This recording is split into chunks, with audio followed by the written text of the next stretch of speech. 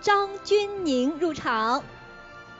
一向以知性大方、独立自信的优质形象示人的他呢，也是凭借着很多优质的作品、向上的态度、率真的个性、实力，备受我们大学生们的喜爱。那近年来呢，他的很多作品大家都非常了解了，像《机魂》《唐人街探案》等多部作品也是热度颇高，让观众们看到了演员张钧甯的更多可能性。呃，像徐安华导演执导的爱情片《第一炉香》哈，也是改编自张爱玲的作品，也是让大家能够期待喜爱的。所以也欢迎张钧甯今天能够来到我们的大学生电影节来面对我们的镜头。